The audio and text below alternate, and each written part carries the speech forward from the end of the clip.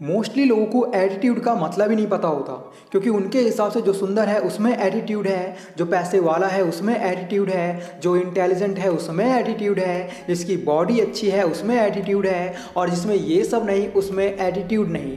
दोस्त एटीट्यूड को ना तो पैसों से जोड़ा जाता है, ना तो खूबसूरती से जोड़ा जाता है, और ना ही पावर से जोड़ा जाता है। एटीट्यूड तो आपके अच्छे बिहेवियर से, आपकी सोच से, आपके बात करने के तरीके से, आपकी समझ से जोड़ा जाता है। अगर आपको लगता है एटीट्यूड लोगों को दिखाने की या लोगों को जेलस करवाने की चीज़ है तो आप बिल्कुल गलत सोच रहे हैं। एटीट्यूड तो खुद को सफल बनाने की, लोगों में अपनी वैल्यू बढ़ाने की चीज़ है। दोस्तों, अगर आप भी अपने अंदर एक ग्रेट एटीट्यूड लाना चाहते हो तो इन सात बातों को हमेशा याद रखना। आप में एक पावरफुल एटीट्यूड आना शुरू हो जाएगा। बाकी वीडियो के लास्ट में एक बोनस टिप भी दूँगा, जो आपको आपका एटीट्यूड हासिल करने में आपकी हेल्प करेगा। इसलिए वीडियो बिल्कुल भी मिस मत करना। So let start the video सबसे पहली बात है, अपने अंदर के आलोचक को अपने कंट्रोल में रखिए, तभी आप में एक पॉजिटिव एटीट्यूड आएगा। हम सभी के अंदर एक ऐसा इंसान छुपा हुआ है जो हमारा बुरा चाहता है, वो चाहता है कि लाइफ में हम कभी भी आगे ना बढ़ सकें। हमेशा रोते रहें। जो इंसान अपने अंदर के छुपे हुए आलोचक की बात मानता है, वो इंसान लाइफ में इतना नेगेटिव हो जाता है कि उसे हर चीज़ में बुराई ही नज़र आती है। इसलिए आपको अपने अंदर छुपे उस आलोचक को अपने कंट्रोल में रखना होगा, तभी आप एक स्मार्ट एटीट्यूड के मालिक बन सकते हो। एग्ज़ाम्पल के लिए, मान लो आपने कर्ज लेकर कोई बिज़नेस स्टार्ट किया और किसी वजह से आपका वो बिज़नेस डूब गया। धीरे धीरे टाइम बीता और आपने फिर से कोई दूसरा बिज़नेस करने के बारे में सोचा। तो ऐसे में आपके अंदर का आलोचक आपका कॉन्फिडेंस डाउन करने की कोशिश करता है और आपसे कहता है, बेटा, तुझसे ना हो पाएगा। क्यों अपने माँ बाप के पैसों को बर्बाद करने पर तुला हुआ है? माना आप पहली बार फेल हो गए, लेकिन इसका ये मतलब नहीं आप दोबारा कोशिश ही ना करें। अगर आप एक स्मार्ट एटीट्यूड के मालिक बनना चाहते हो तो अपने अंदर के आलोचक को अपने कंट्रोल में रखिए।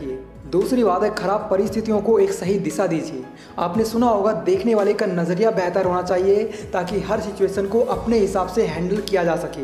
बस आप में वो खूबी होनी चाहिए कि आप खराब हालात को भी एक सही दिशा दे सको। एग्ज़ाम्पल के लिए मान लो आपके घर गेस्ट आने वाले हैं। और आपने बड़ी मेहनत से उनके लिए खाने में अच्छा अच्छा आइटम बनाया था, लेकिन किसी वजह से वो खाना खाने लायक नहीं बचा। तो ऐसे में अब आपके पास उतना समय नहीं है कि आप दोबारा से वही खाना बना सको। तो ऐसे में खाने की उन चीज़ों पर फोकस करना चाहिए जो इंस्टेंट रेडी हो जाते हैं, ताकि मेहमानों के सामने आपकी इंसल्ट ना हो। कहने का मतलब है, खराब सिचुएशन को सही दिशा देना ही एक बेस्ट एटीट्यूड का नियम है। अगर आप में मुश्किल हालातों को हैंडल करने की पावर नहीं तो आप कभी भी एक अच्छे एटीट्यूड के मालिक नहीं बन सकते। तीसरी बात है, हमेशा एक बात याद रखिए कि समस्याएँ हर किसी की लाइफ में आती हैं। आपका एटीट्यूड इतना मज़बूत होना चाहिए कि आपकी लाइफ में जो भी प्रॉब्लम आए, आप उनका सामना बड़े आराम से और बिना किसी की हेल्प के कर सको। आपको हमेशा ये बात याद रखनी चाहिए कि हर किसी की लाइफ में छोटी मोटी मुसीबतें आती रहती हैं। आप दुनिया में अकेले नहीं हो जिस पर मुसीबतें आती हैं। आपको उन मुसीबतों से घबराना नहीं है और उनका कॉन्फिडेंस के साथ सामना करना है। एग्ज़ाम्पल के लिए, मान लो आपकी फैमिली पर कोई प्रॉब्लम आ जाती है तो ऐसे में आपको डरना नहीं है और ना ही अपनी हिम्मत को टूटने टूटने देना है, बल्कि आपको आगे बढ़कर अपनी फैमिली के साथ खड़े रहकर उस प्रॉब्लम से निपटना है और एक नया कल लाना है जो आपकी लाइफ में खुशियाँ भर सके। आप में इतना मज़बूत एटीट्यूड होना चाहिए कि आप हर प्रॉब्लम का सामना अकेले कर सको। मेरी बात से सहमत हो तो कॉमेंट बॉक्स में आई अग्री ज़रूर लिख देना। चौथी बात है, खुद से ही खुश रहना सीखो। अपने एटीट्यूड को पॉजिटिव बनाने के लिए सबसे ज़रूरी है कि आप खुद से ही खुश रहें।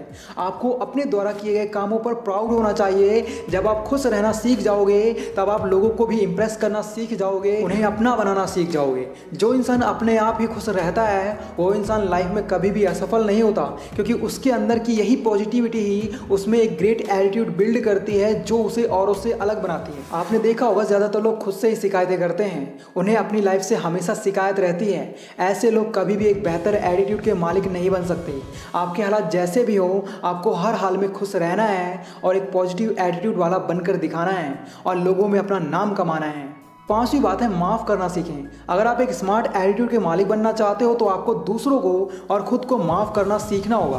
क्योंकि कई बार गलत फैसले करने पर लोगों को आपकी क्षमताओं पर शंका होने लगती है, जिस वजह से आपका सेल्फ कॉन्फिडेंस कम होता है और आप अपनी सेल्फ रिस्पेक्ट को भी नज़रअंदाज करने लग जाते हो। इसलिए गलती हो जाने पर खुद को सजा देने की बजाय, खुद को रोज़ कोसने की बजाय माफ़ करना सीखें और हर गलती के लिए खुद को दोस्त बिल्कुल ना दें। नहीं तो आप में नेगेटिविटी भर जाएगी और आप हमेशा ही खुद को एक बेकार इंसान इंसान मानना शुरू कर दोगे, जो आपके एटीट्यूड के लिए बिल्कुल भी सही नहीं है। देखो यार, अगर आप में लोगों को और खुद को माफ़ करने की पावर है तो लोग आपको पसंद करेंगे, आपका नाम लेंगे और आप में ग्रेटनेस बढ़ जाएगी, जो कि एक अच्छे एटीट्यूड के लिए बहुत ज़रूरी है।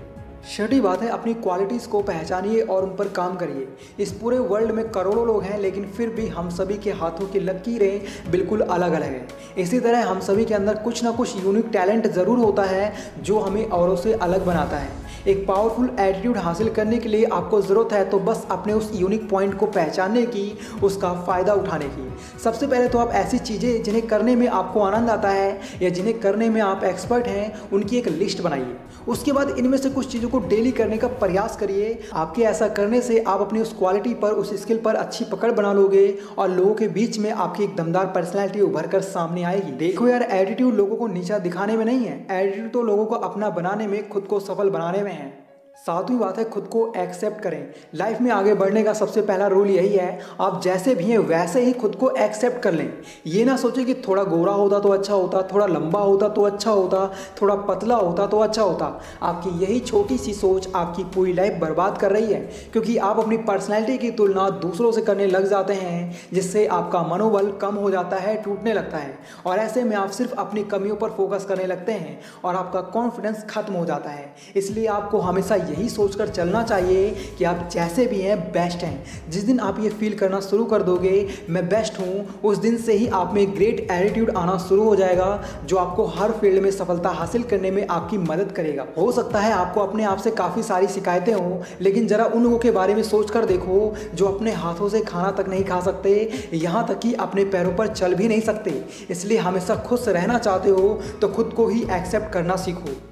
और बोनस टिप है, खुद पर किसी भी तरह के डर को हावी ना होने दें। डर एक ऐसी बीमारी है जिसका इलाज हमें खुद ही करना पड़ता है। चाहे आपको बोलने से डर लगता हो, चाहे आपको कुछ नया करने से डर लगता हो, चाहे आपको लड़कियों से डर लगता हो, आपके अंदर जिस भी तरह का डर हो, आपको अपने उस डर को दूर करना है, उस पर काबू करना है। तभी आप खुद में एक पावरफुल एटीट्यूड ला सकते हो। क्योंकि अगर आप खुद में एटीट्यूड लाना चाहते हो तो आपको अपने अंदर के उन सभी डर को दूर करना होगा, जो आपके कॉन्फिडेंस को तोड़ रहे हैं। जब तक आप अपने अंदर के डर पर काबू नहीं पा लेते, तब तक आप में एक पावरफुल एटीट्यूड नहीं आ सकता। और अंत में आप सभी से बस इतना ही कहना चाहूँगा एटीट्यूड किसी को दिखाने की या बताने की चीज़ नहीं है। एटीट्यूड एक ग्रेटनेस है जो आपके अंदर होना बहुत ज़रूरी है।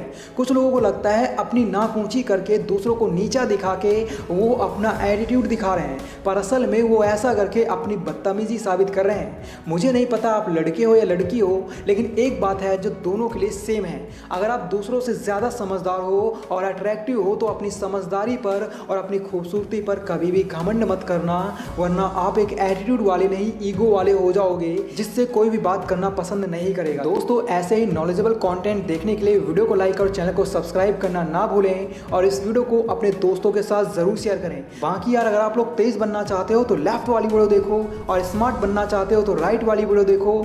Thanks for watching love you all